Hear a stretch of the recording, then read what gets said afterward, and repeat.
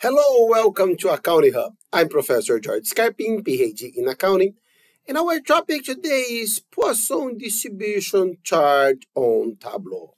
And here, guys, Poisson distribution, huge formula, very complicated. You need programming to do that on Tableau, so we are not going on that.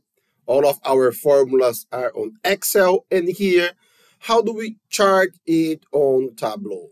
So First of, and by the way, if you want the Excel video, the video is in our video description. So what is Poisson distribution? Very fast. Models a number of occurrences in some unit of measure, often time or distance. There is no limit on the number of occurrences, so uh, average number is a constant, and an experiment satisfies a Poisson process if that is the most important. The number of successes with a specified time or space interval equals any integer between 0 and infinity. So, any number. However, no negative number because if you are talking about success, doesn't make sense to have a negative success.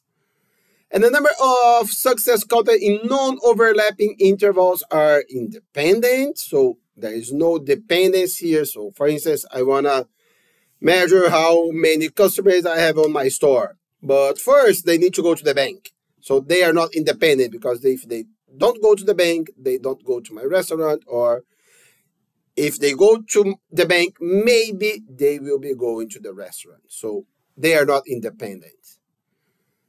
Uh, and probability of success in any interval is the same for all intervals of equal size. It is proportional to the size of the interval. What does it mean? For instance, on average, I have uh, 300 customers uh, in a month, a 30 days month. So that means I have on average 10 customer per month. So no seasonality here. Or the uh, average is proportional. Examples number of customers who use a new bank app in a day. So let's go to our Excel file. And by the way, the Excel file is on video description. So here, what do we have here? Gabby is concerned about staffing needs at the restaurant she manages. She believes that the typical customers average 15 visits to the restaurant over a 30-day month. So, how many visits should Gabby expect in a five-day period? So if the period 30 days, 15 visits. So half visit per day times 5, 2.5 visits. Probability that a customer, and then here we have two Poisson's di distribution as well as any distribution. The fx, that is exact number, or capital F, x, that is the cumulative. So what is the difference? The b is the fx. Probability that a customer visit the chain five times in a day period. Exactly five times. No four, three, two, or one, or six, five. And here 0.06 or 7%. And C, that is the cumulative. What is the probability that a customer visits the chain no more than two days? Zero, one, or two, cumulative. And then a second scenario, a new menu that could change the average to 21 visits over a 30-day month.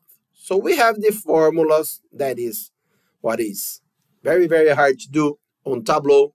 And then on Tableau, we have these numbers. We have the copy and paste for the current menu, that is this one, and the new menu, that is this one. So we don't need a lot of columns here only one column for a current and new menu, the scenario, X, the number of times, and then exactly and cumulative.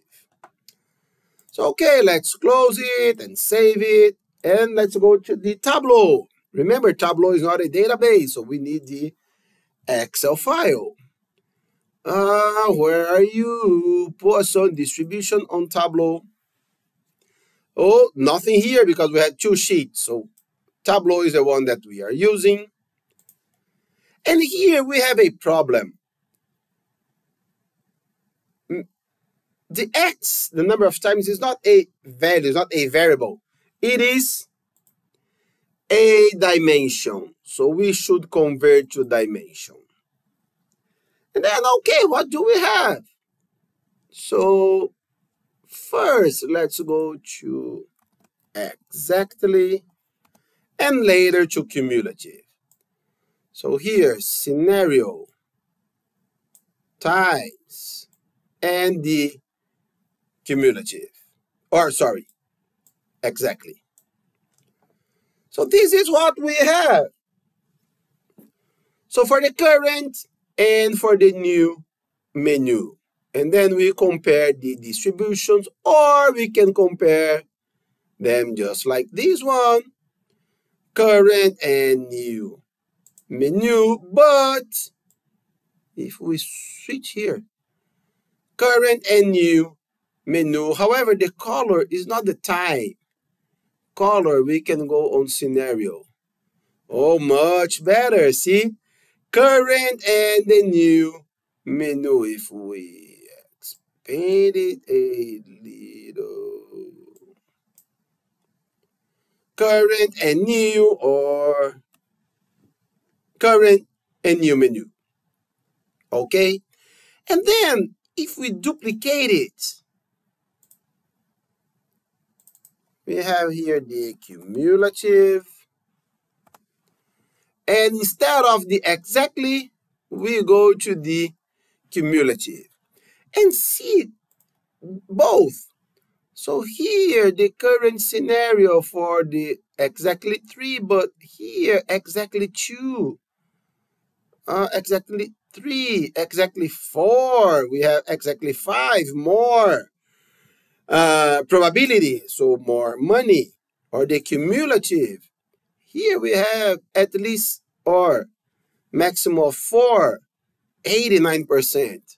However, the 89 is quite close to here that is 5, one more customer, or even 6 or 5.5 customers and so on. So more customers going to my restaurant before we get the 100%. And we can go on dashboard, Poisson. And then, but before that, what if I want to see only current? So we can add this scenario on filter. Apply it. Let's show filter and okay.